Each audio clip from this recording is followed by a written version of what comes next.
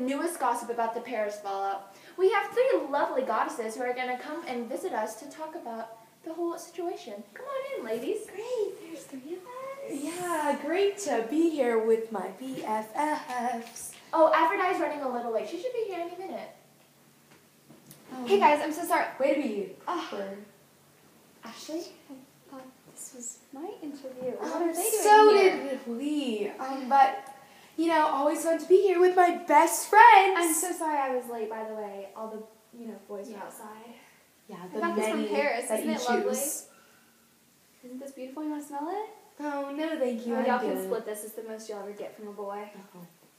Yeah, well I am the goddess of marriage.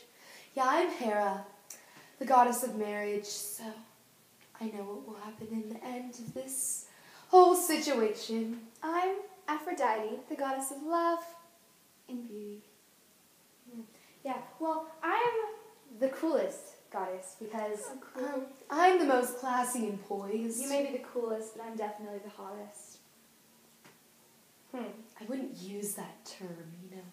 I am very classy and glamorous. Let's not get carried away. I need to know the whole story. What happened?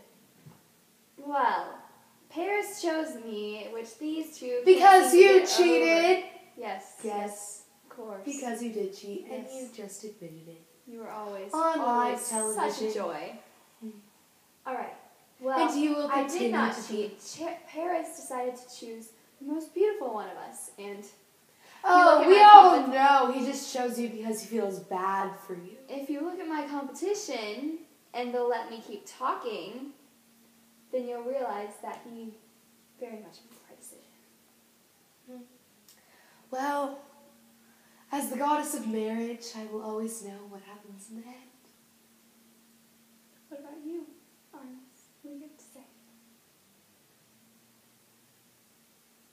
Just smile.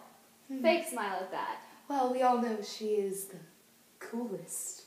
Is this fake? Oh, oh, trying to pull my hair, aren't you? We all know you're a little aggressive and would have uh, tried to kill Paris as a hunter. Oh, come You're on. just jealous that I can do stuff by myself.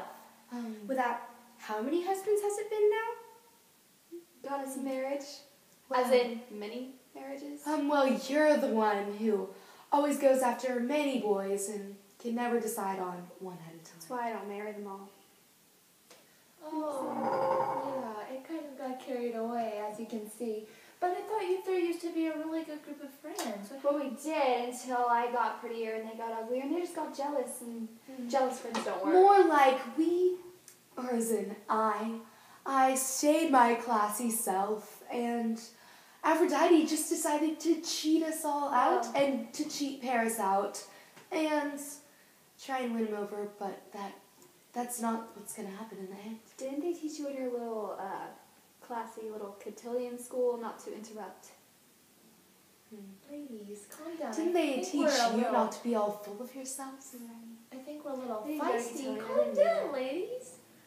We, need, we all need some Zen.